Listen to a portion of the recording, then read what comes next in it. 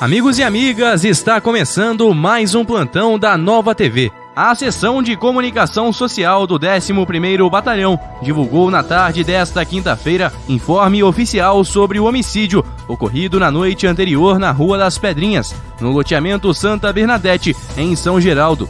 Segundo a PM, a vítima foi assassinada na frente da esposa e da filha por dois elementos.